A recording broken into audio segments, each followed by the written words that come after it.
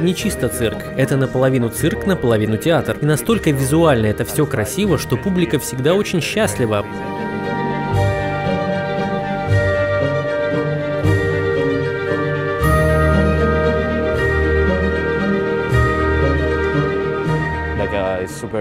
Это очень важно для нашего театра участвовать в таком мероприятии. И я очень рад, что мы в нем участвуем.